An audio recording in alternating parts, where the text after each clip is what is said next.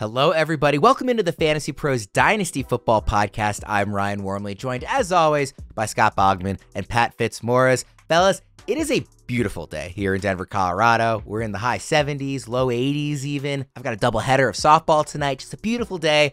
And as always, I'm very excited to talk to the two of you about some Dynasty football stuff. Bogsman. Bogsman. Boggs, how you doing? I'm doing great, man. Uh, I'm it's a little hotter here than that in Texas. Uh, we're creeping into the uh, early to mid 90s right now. So we're like in the era where the Cowboys were good. So that's nice. Um, but uh, yeah, the, the tornadoes and stuff have been rough on the city, but everybody seems to be putting it back together and get back to normal now. So uh, happy for that. Fitz, aside from me struggling to pronounce both of your names for whatever reason here in the intro of the show, how are you doing? I am doing uh, pretty well, Worm. You know, we have our daughter's graduation from high school coming up tomorrow, and that is uh, big day. Yeah, it is a big day. Should be a joyous, festive occasion. Um, you know, like she's moving on to the next phase of her life. That's exciting for her. We're excited about no longer, uh, you know, we've gotten her through primary school and uh, we won't have to nag her, at least not in person, about doing her homework anymore. Won't have to try to cajole her into going to school on days when she has a pimple on her forehead. Um, so that's exciting. But I'll tell you, man, I've got this pervasive sense of dread about having to wear a necktie for three or four hours tomorrow for this ceremony. And uh, I, I know a lot of people are probably watching or listening to this podcast thinking, don't be such a big weenie. I've got to wear a necktie every day to work. Um, but it's been a long time, man. There was actually a time early in my career uh, and Worm, this is like the 1950s, early 60s. Uh, I also, you know, when I used to smoke a pack of Luckies a day at the office, um, when I had to wear a tie every day. And uh, it didn't really bother me at the time. I didn't even think about it. Sometimes I'd even come home from work and, uh, you know, talk to my roommates or, or open a beer before I took off the necktie. But now I just like, I'm, I'm dreading it. It's almost an anxiety. And uh, I don't know, talk me off the ledge here. well, well, first of all, uh, you should thank your lucky stars that uh, you don't work in a job where you have to do that every day. Because I am always feeling very grateful about not having to wear a tie or really dress up at all to do this job, which is uh, which is a huge blessing. Also, when you describe yourself working back in back decades ago, I just imagine you as Jon Hamm in Mad Men, just like ripping open a pack of cigarettes and you know getting down to the advertising firm or whatever it is that people did uh, back then. But also, it's like three or four hours. It's not that bad. What do you think, Bogman? I mean, wasn't Pat Fitzmaurice, wasn't that Don Draper's real name in the show? I, I can't remember what it was, but uh, yeah, look, I I'm trying to recall the last time I put a tie on. I think I was in a it's wedding. Definitely for me and a wedding scenario too. See, I but but see for the tie for me, it's half good, half bad because I hate putting on the tie. Like I don't do it ever. I've never had a job like that. I'd have to go on YouTube to put on a tie. I don't know how to tie a tie. I'm one of those rednecks, right? Uh, but I know if I'm wearing a tie, I'm gonna be having a good time. well, you know, it's it's almost so. like uh, it's almost like ski boots, where putting them on and the act of wearing it so uncomfortable, but there's almost no better feeling than taking it off. Like when you finally loosen oh, Wormeli with tie, the bougiest reference ever. It's kind of like your ski boots. There, there's you know? there's no better feeling like on earth than taking your, your ski boots off after a day of skiing. Uh, skiing. I will say that. Uh, quick, quickly, Fitz, I, I have to get your opinion on this. We talked earlier this week about how Erickson actually is turning 30 tomorrow, as of when we're recording this show. So first of all, early happy birthday to Erickson. Do we think Erickson even knows how to tie a tie, like a proper tie? I'm guessing he does. I mean, I'll, I'll bet Erickson has probably been through a clothes horse phase at some point in his life. So I, am guessing Erickson could do a proper uh, Windsor knot.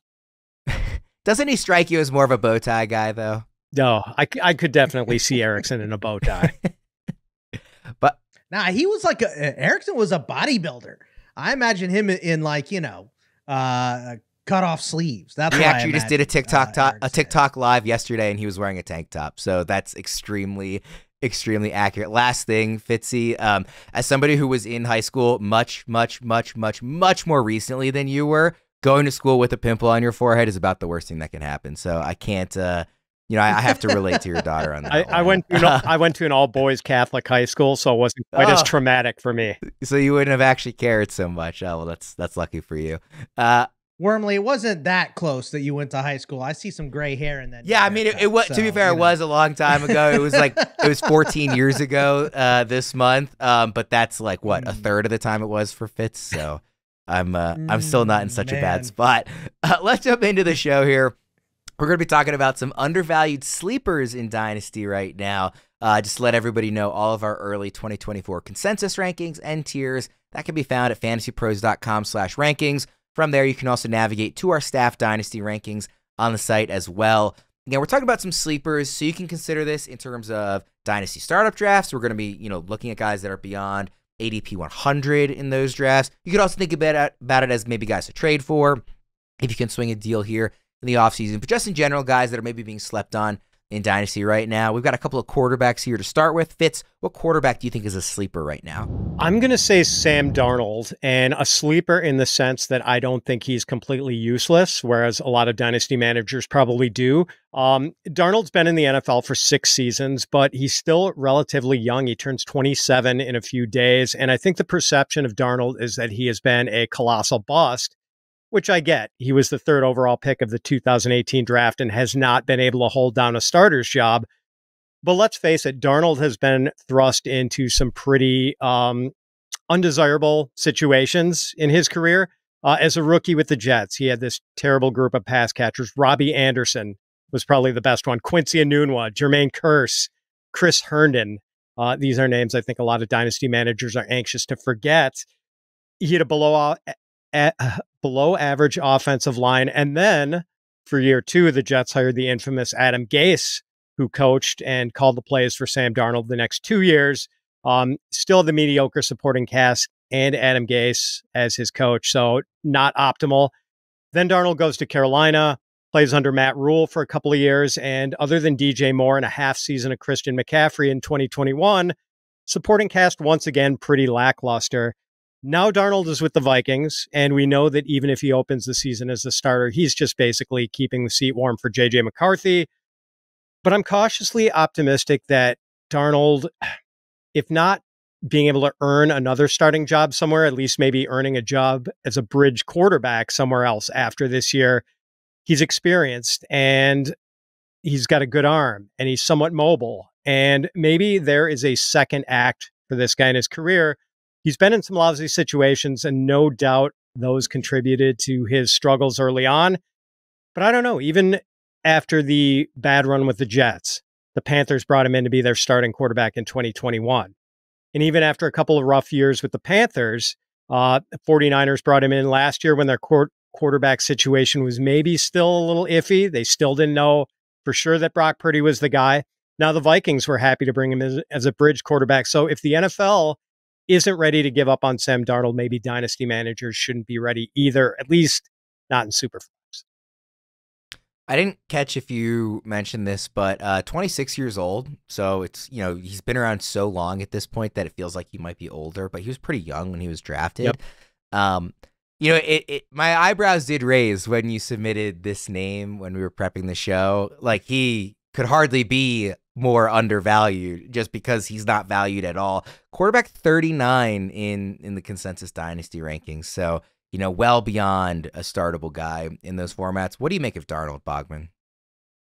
Yeah, I mean, uh, look, the logic is absolutely great here for Fitz. Look at what this offense did for Joshua Dobbs last year. You know, he comes in um, and he has a little bit of success. They trade him.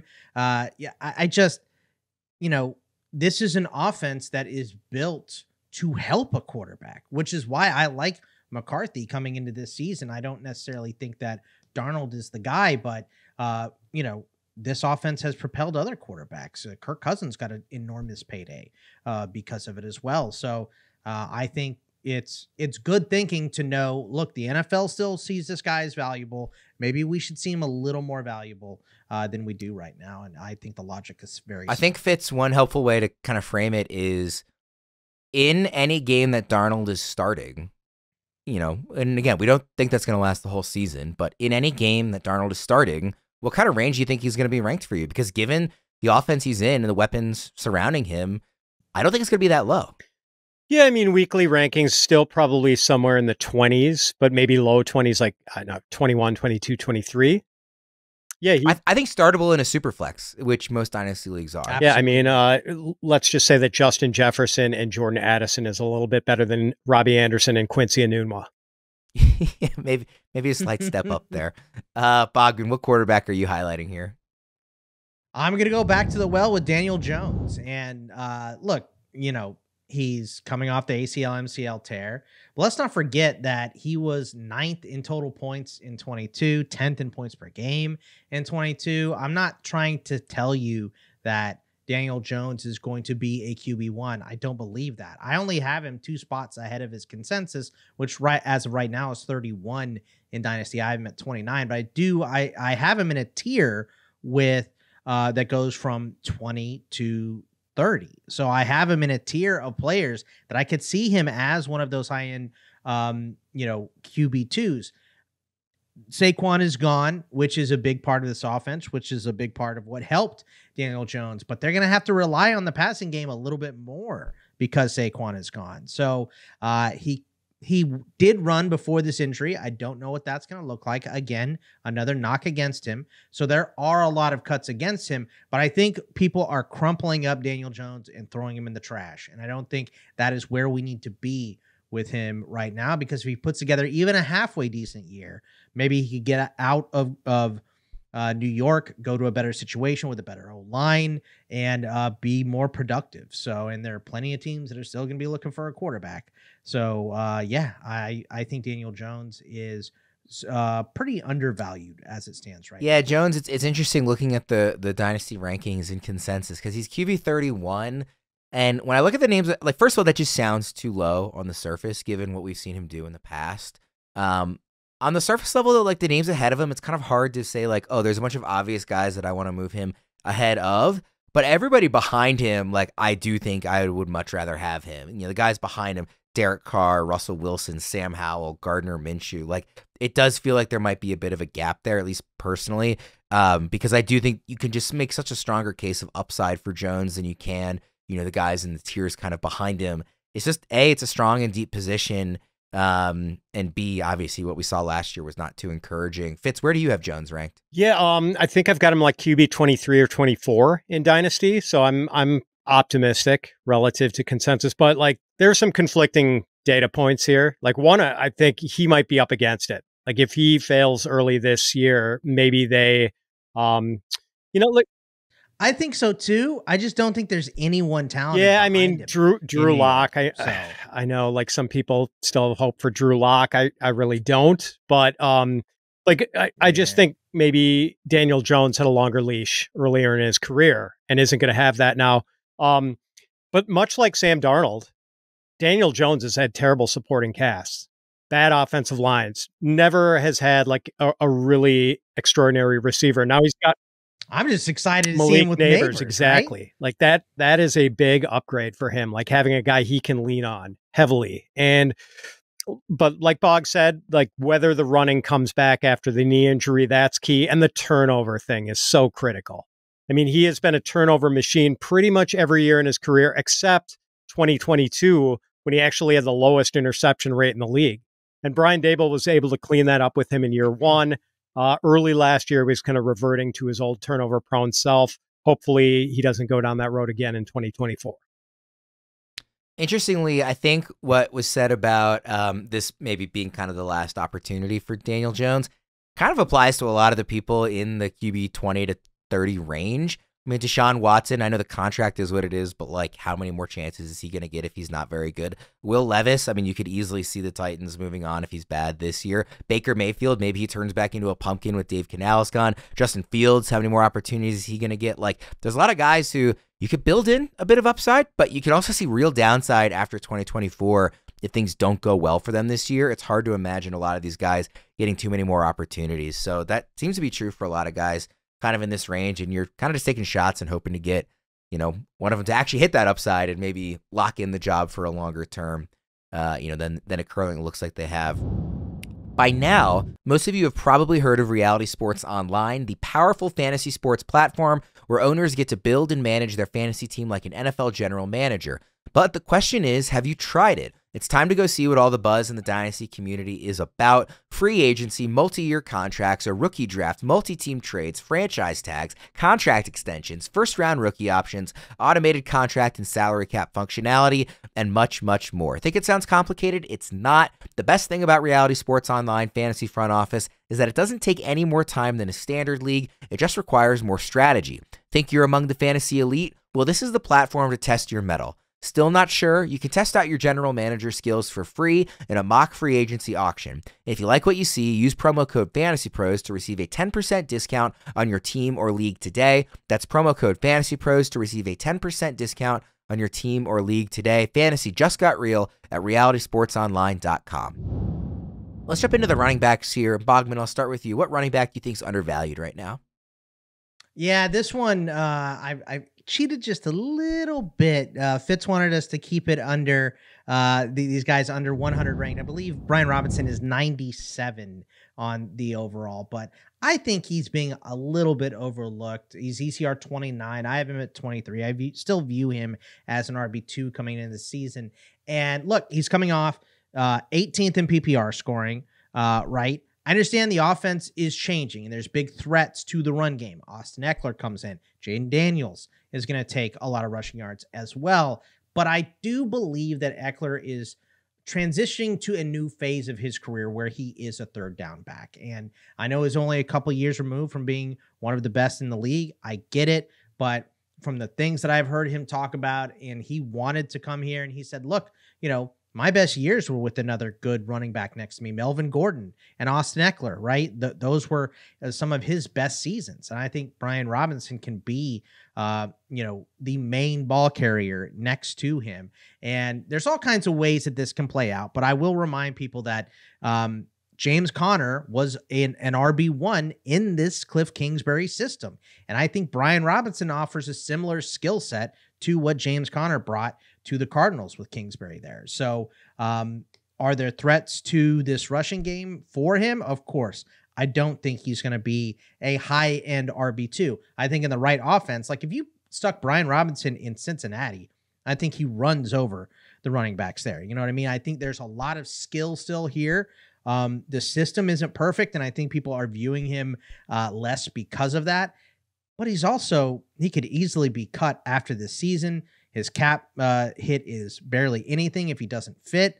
Um, he could be traded after this year because this is a skilled player that is in an offense that maybe not suited best for him. But I think there's more. There's a little more there for Brian Robinson than we're giving him credit for. So I still view him as an RB two. If you look at ADP and not uh, the expert consensus rankings, you're actually not cheating. He is outside the top 100. He's like 110th or 108th or something. Um, but uh, he is just inside in terms of ECR. Yeah, Robinson's an interesting one. Uh, Bogman, when you think about you know the topic of undervalued sleepers so far, and we have other you know versions of guys that we're going to be talking about later, but so far we've talked a lot about guys that we see the opportunity this year, even if the long term stranglehold on the role is maybe somewhat less certain. That was kind of the case with both quarterbacks. It's sort of the case with Robinson.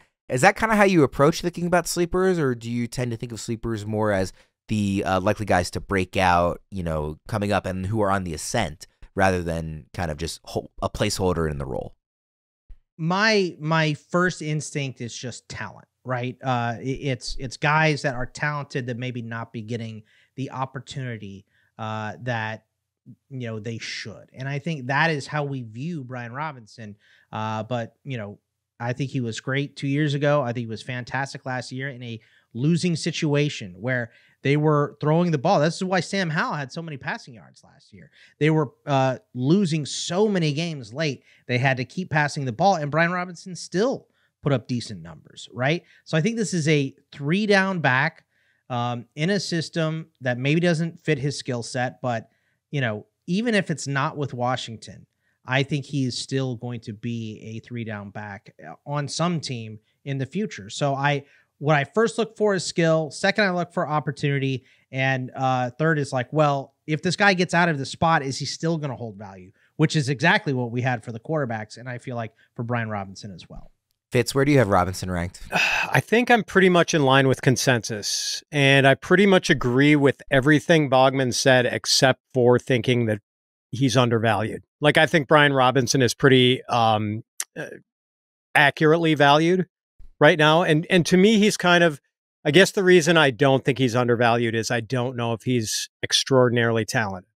Like, I think he's a really capable NFL running back. And he's a guy I think of as sort of a ball of clay running back, where he is going to be largely dependent on his usage and his supporting cast. And I think the usage has been pretty favorable the last couple of years. The supporting cast, maybe not so much. And maybe the usage ticks down a little bit now that Ekeler's there and is going to probably own the passing downs. But the supporting cast, I think, is getting better. And there's a lot more touchdown upside with Jayden Daniels at quarterback. So um, I don't know. I mean, I, th- I think he's okay. I just, I don't know if he's ever going to be like a, a top 10 running back, a guy that we are wishing dearly we had on our rosters. You know, like a, a guy I'd certainly be willing to trade for if I needed to fill a hole at running back, but like a guy not falling all over myself to try to acquire. I feel like I ask you this all the time, Fitz, but I'm going to ask again.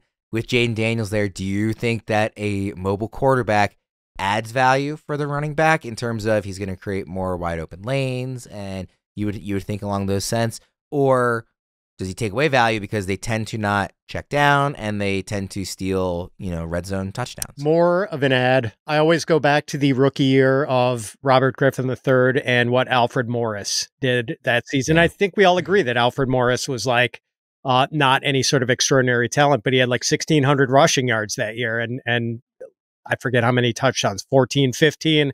Like he had a great year. And that was largely a pr- product of RG3 being such a dangerous running threat. So I think it's going to boost his rushing efficiency for sure. Maybe it'll eh, rob him of a few short yardage touchdown opportunities, but I'll take that trade off. And I think that, uh, you know, when you're looking at uh, the goal line, Jayden Daniels makes Jalen Hurts look thick, right? You don't want to force that this point. skinny QB into these scenarios. So let's give the ball to our huge back. That RG3 Alfred Morris season was so fun and maybe we see some sort of facsimile of it with uh, with Daniels and Robinson this year. That would be really fun as well. Fitz, uh, who's your running back that you want to highlight here? Kendre Miller of the Saints. Um, his rookie season was kind of derailed by injuries. Like he sprained his MCL in the preseason and missed the Saints' first couple of games. Then he picked up an ankle injury about midway through the season. And uh, so only eight games total for Kendre Miller as a rookie, and only two games where he had double digit carries. Had 12 carries for 37 yards against a very good New England run defense in week five, but he also had four receptions for 53 yards that week. Then in week 18, he looked really good against the Falcons 13 carries, 73 yards, and a touchdown. Alvin Kamara and Jamaal Williams both entering their age 29 seasons. Uh, I think Jamaal Williams maybe looked a, a, lot like a guy entering his late 20s last year when we saw him play. Um, Kamara still has some juice. He's under contract for a few more years, and the Saints probably can't get rid of him until after 2025. But I do think Kamara needs a tag team partner, and that Kendre Miller could be an ideal one. Uh, you know, splitting up the early downs, if not maybe Kendre taking a little more of the early downs than Kamara. Uh, Jamaal Williams also under contract for a few more years, but I think they could probably get out from under his contract after this year. Miller was an early third round pick for the Saints. He was the eighth pick of the third round in 2023. And like that's pretty significant draft capital for a running back these days. He's got good size. He's got pretty good speed. He was really productive at TCU. Like big reason they got into the college football playoff a couple of years ago was because of Kendre Miller. So I think there's a, a decent future for him. Like there's promise. He, he's still kind of a mystery guy. We haven't seen it yet. And maybe that gives people a buying opportunity in Dynasty. Where do you have him ranked, Bogman? He's 39 in ECR. Yeah, I'm I'm uh, you know, I think I had him uh, lower last last week. Uh, I had him at 44.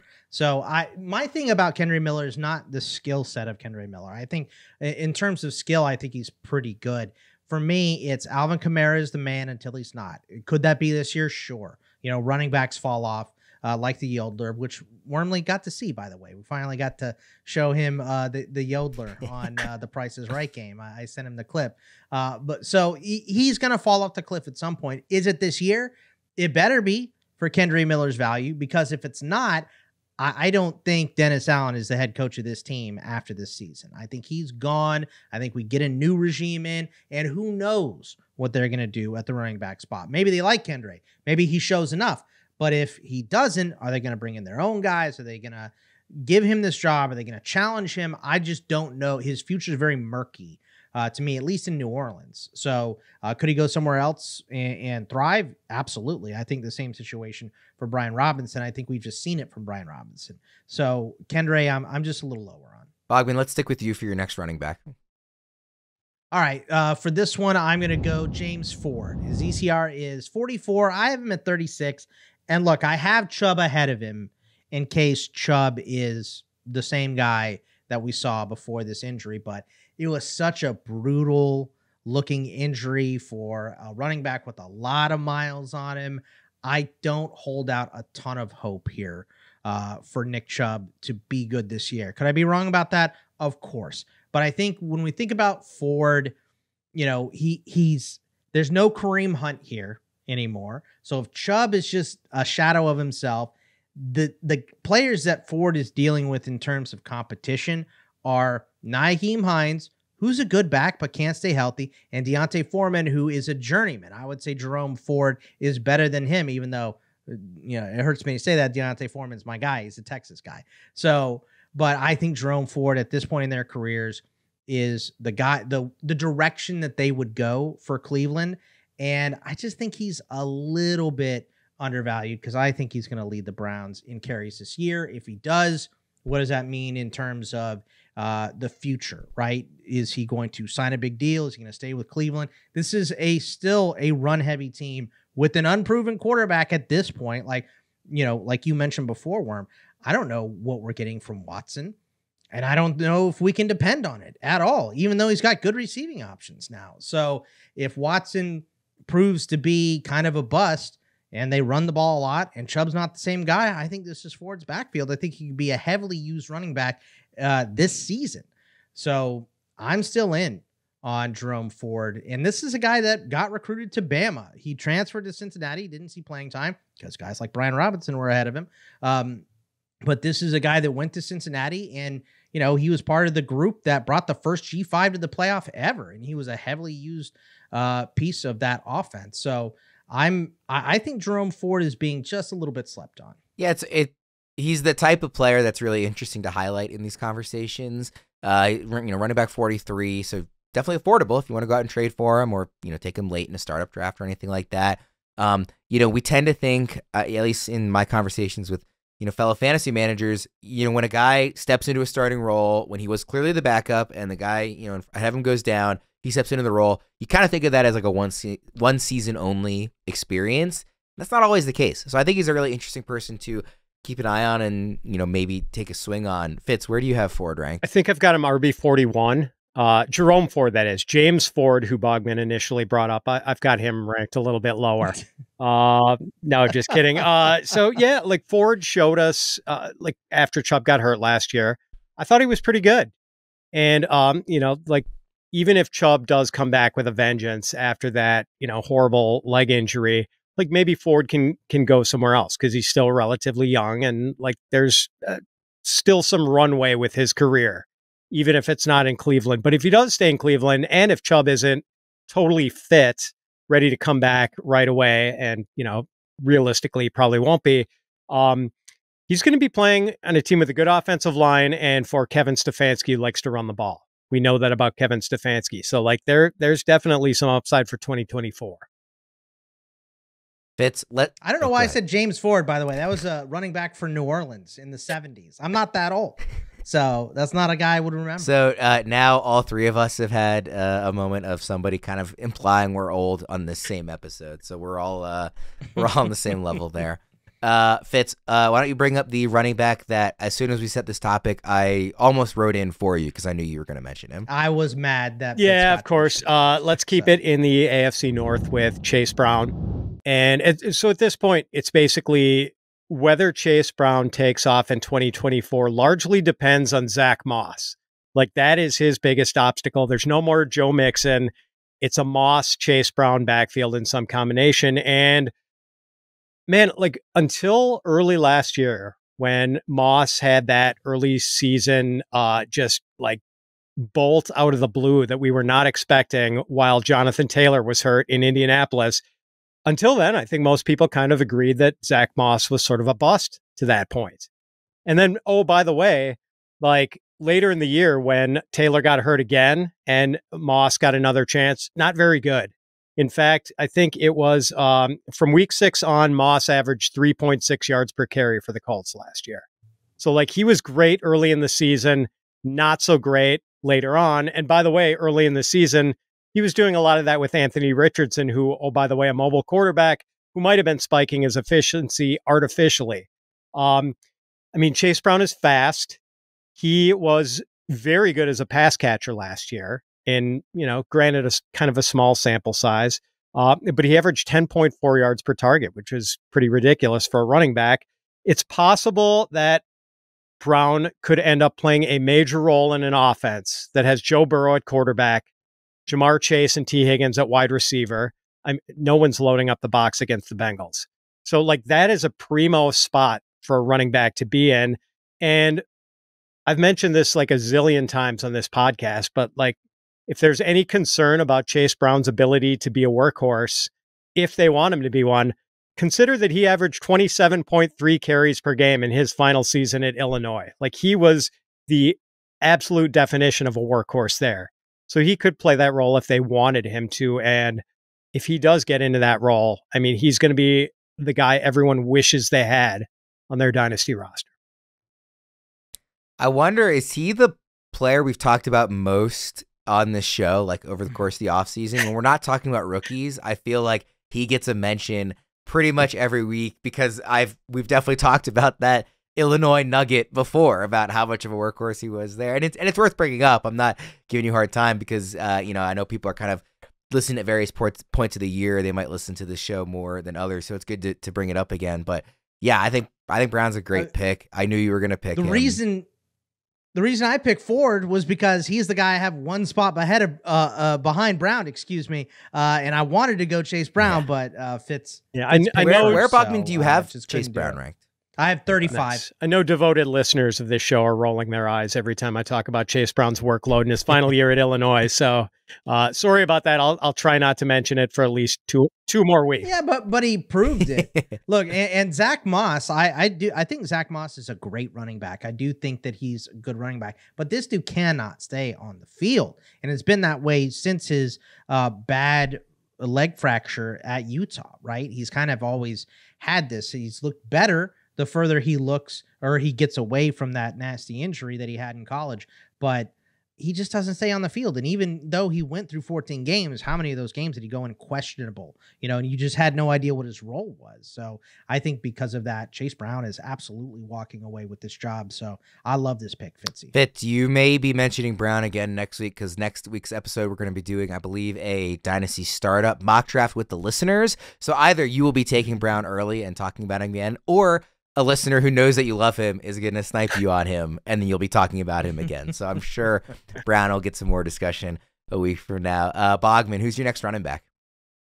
I'm going to lump two running backs together because they're both very, very low. And I kind of have the same mindset on both of them. It's Tank Bigsby, whose ECR is 61. I'm just a little higher uh, at 50, and then really low down here, Evan Hull, his ECR is 76, and I have him at 69. So I have these guys like just a little bit above where their ECR is, but I think both of them are probably worth more than what their ECR is currently to the guy that uh, they should handcuff, right? To to the manager who has ETN, to the manager who has Taylor. I think these are the backup running backs. So just in terms of ECR, I think they're more valuable to just those guys already. But also for the Jaguars, uh, they want to get ETN fewer touches. Doug Pederson has already talked about in this offseason getting Tank more touches. He didn't say we need to get another running back. He specifically said, Tank, this is their guy. They drafted him last year. He didn't work out.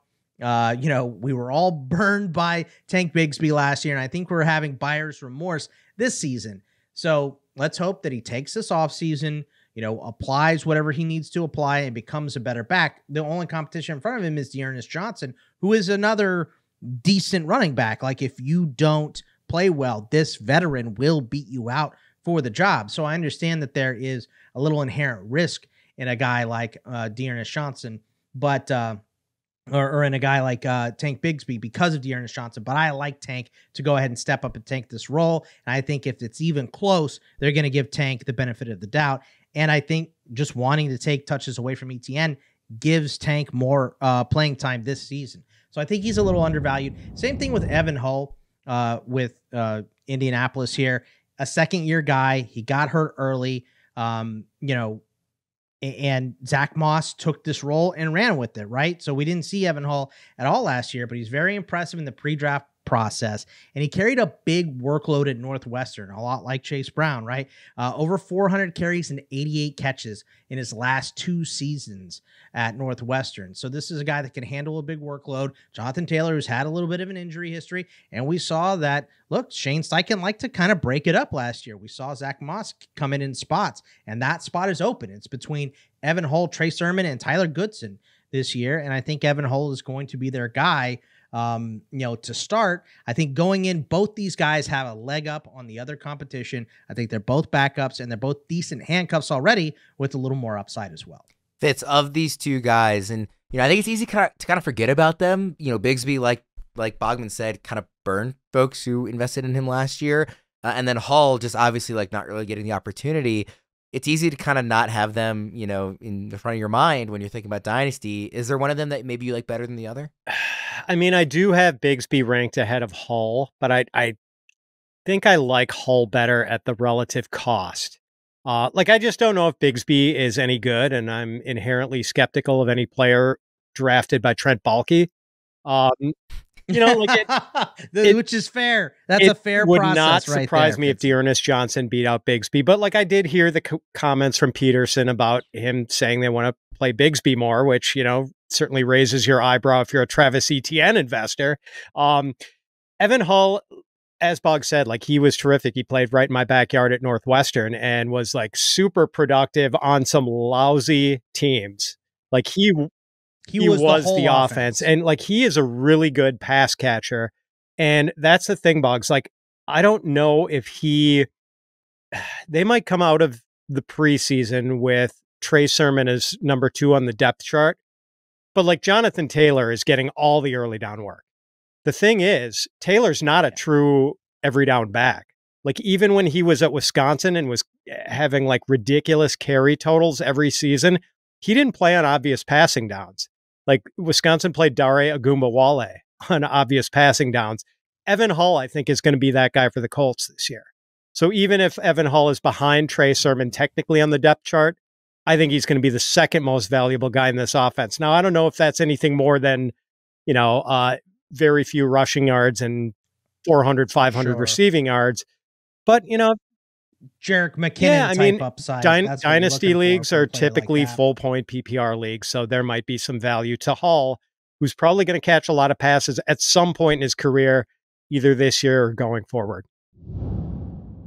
Whether you're starting fresh or getting ready for your rookie draft, dive deep into Dynasty Prep with our 2024 Dynasty Draft Kit at fantasypros.com slash dynasty. Get access to our expert rankings, rookie draft advice, mock drafts, and much, much more. You can also join live expert AMAs on our Discord at fantasypros.com slash chat. Dominate your Dynasty League with our Dynasty Draft Kit at fantasypros.com slash dynasty. Let's get into the wide receivers, guys. Fitz, we'll start with you here. Christian Watson and he was just outside the top 100 so he is i think of all the guys i'm going to bring up the highest ranked in the overall dynasty rankings at fantasy pros. Um, i think some dynasty managers are down on him because of the persistent hamstring issues and because the packers now have a bunch of good young players at wide receiver and tight end. I get the concerns about the target competition and i get the concerns about the hamstring issues although he did see a specialist in the offseason. Hopefully that prompt some change in his training regiment that makes that less, less of an issue. Um, but as for the target thing, Dwain McFarland of of Fantasy Life pointed out a couple of days ago that in games where Christian Watson, Jayden Reed, and Romeo Doubs all played together, Watson had a 27% target share, Reed a 22% target share, Doubs an 18% target share. So Watson was the biggest target earner when they played together.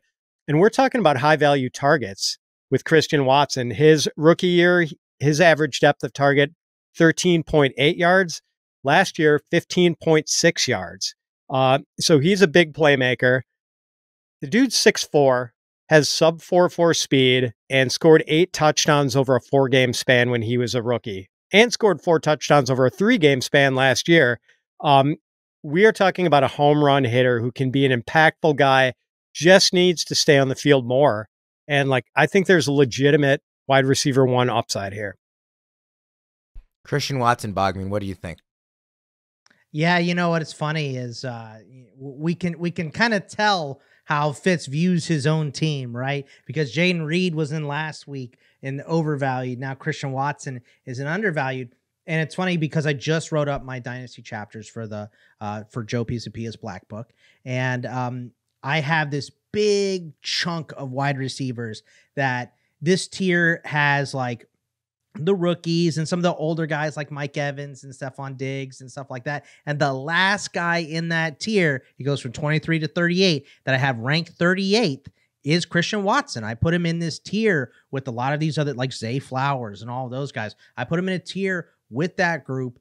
I did put him last because I would take him last out of that group. But I think the upside is still there. As Fitz said, you know, sure, Jayden Reed is is uh, you know, definitely competition for targets, but how far down does Watson go when he's playing?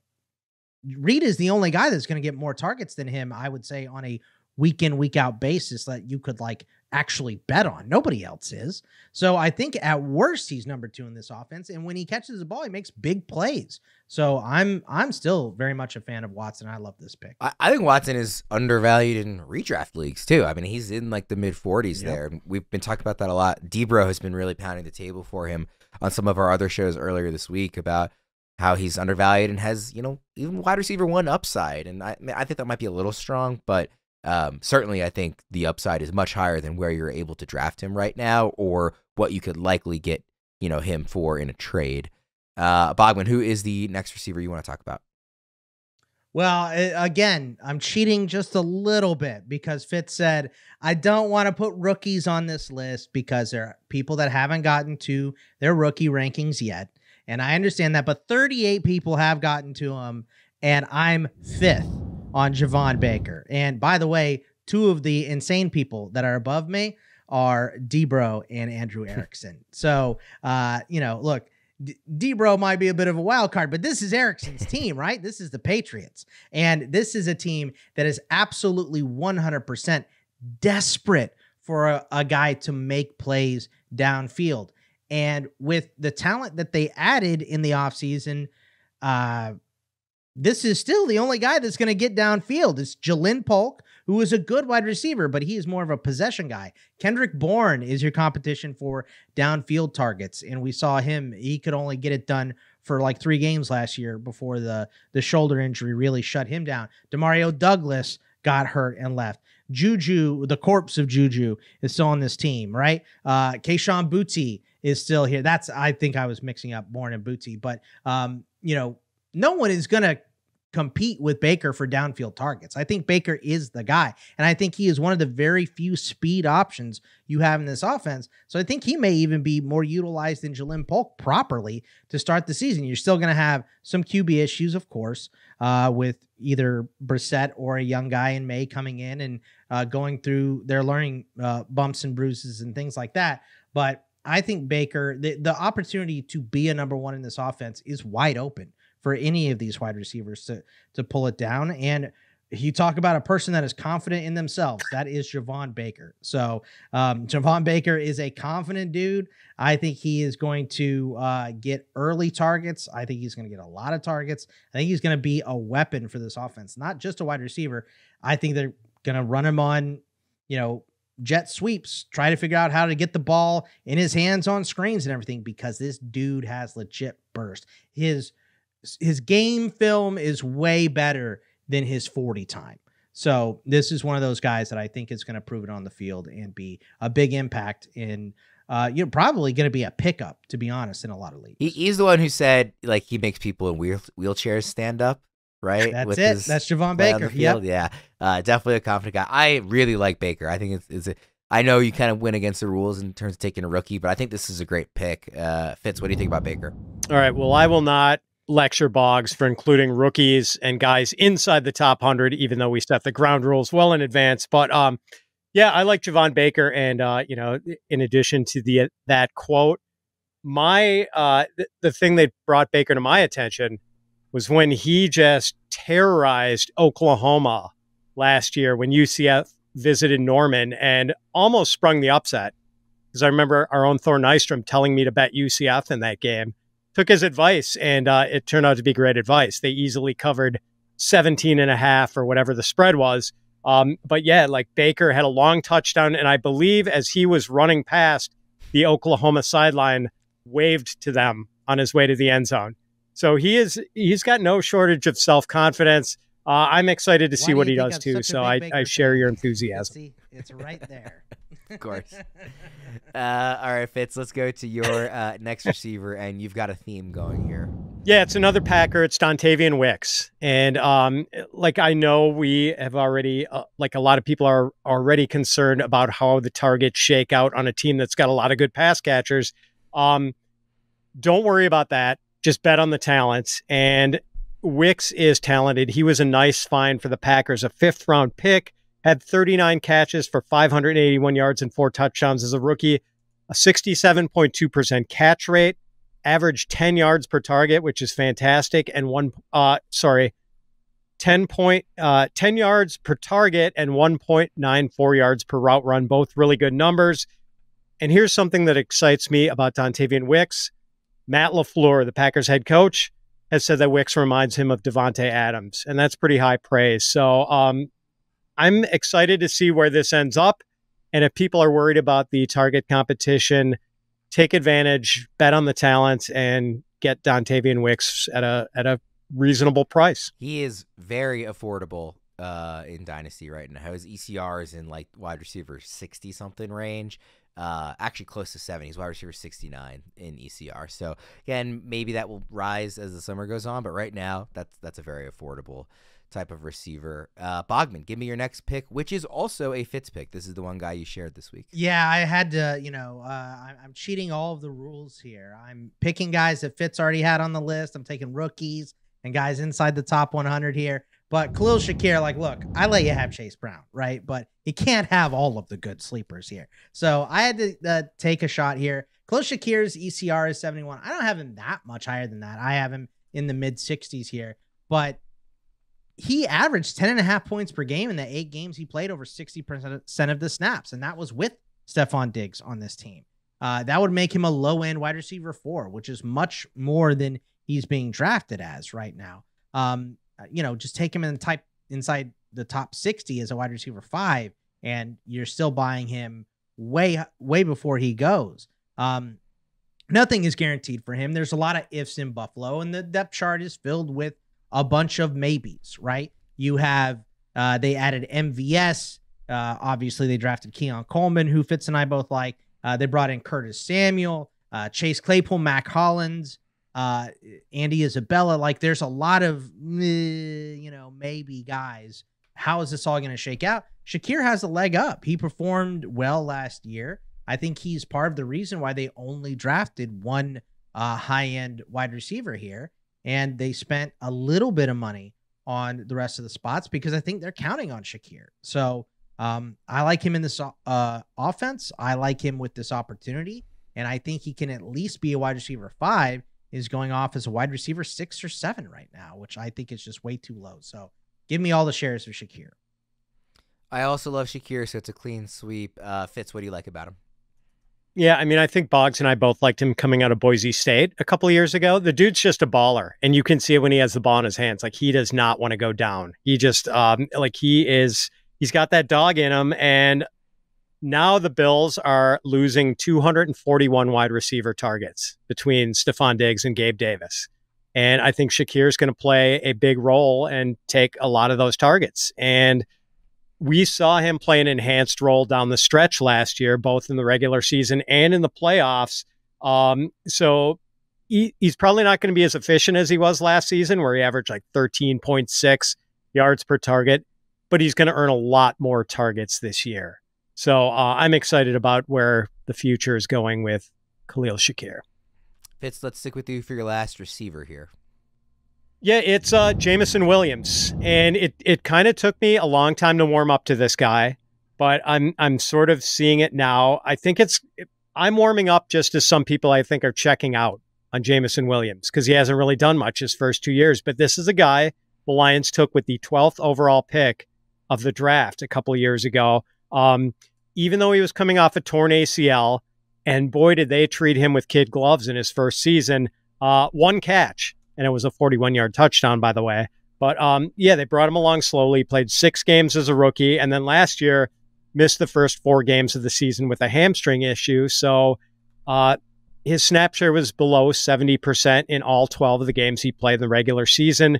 Only had 24 catches for 354 yards and a couple of touchdowns. So basically, he's given you no fantasy value in his first two seasons.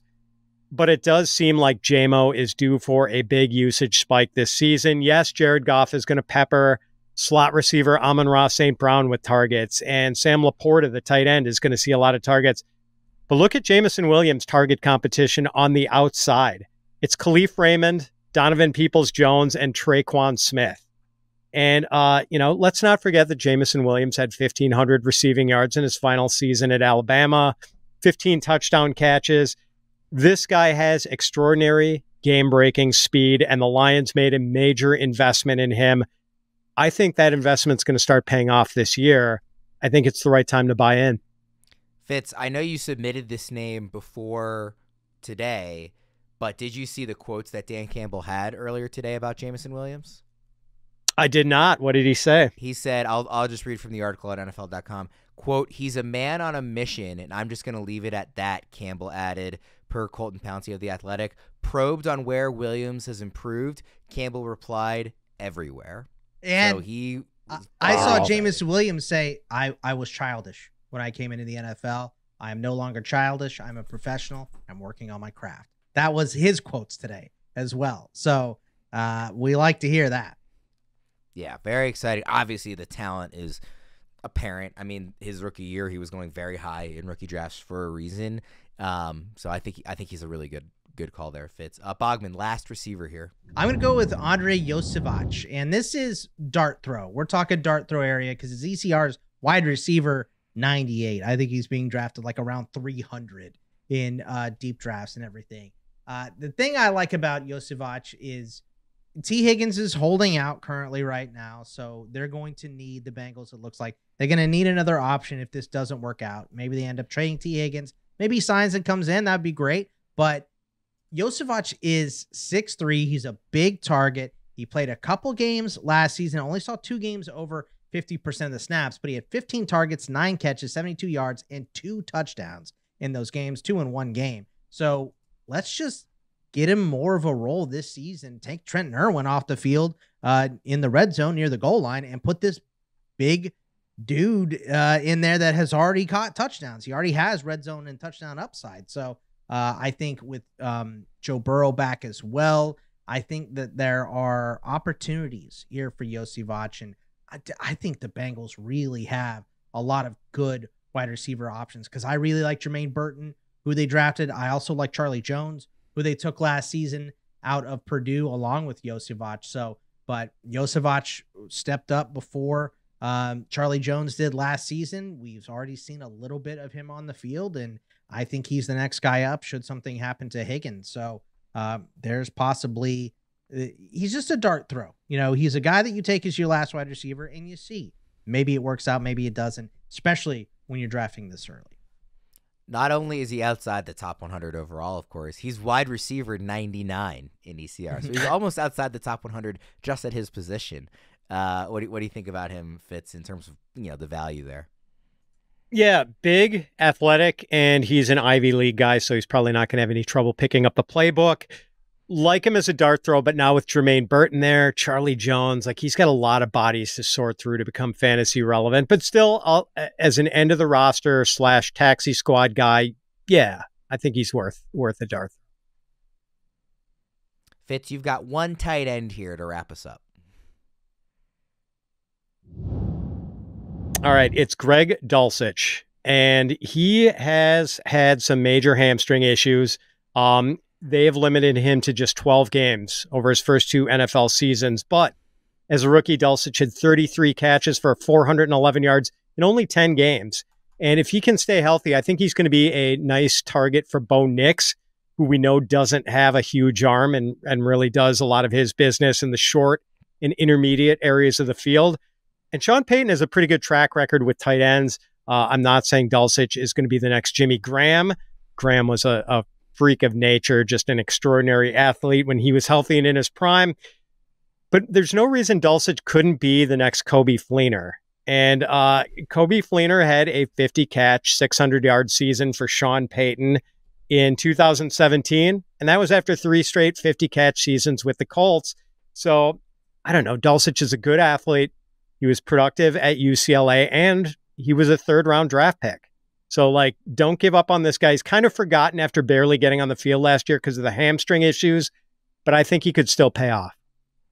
He's tight end 26 in ECR. Bogman, what do you think? Yeah, look, I I love the the talent is definitely there for Dulcich. I I just the, the there's good things and bad things. I I feel like I like him a lot more for just this season. Like he's a tight end. I'm willing to take a flyer on in a tight end premium or two tight end league because they didn't add anybody. Right? It's just Adam Trautman is the only dude ahead of him. Lucas Krull maybe uh, could could get involved here. I love the Coby Fleener comp. It's unbelievable with with this comp. Coby Fleener. Uh, uh, re- it, reaching for. I think it's perfect there.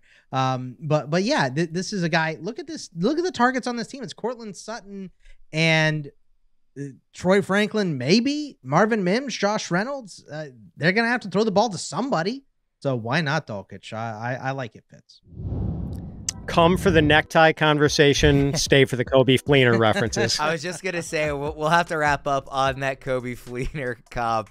Uh, everybody, make sure uh, you wish uh, Erickson a happy birthday. Make sure you wish Fitz congratulations on the graduation of his daughter, and uh, we'll get out of there on that. For Fitz and Bogman, I'm Ryan Wormeli. Thank you everybody for tuning in, and uh, we'll see you again next week.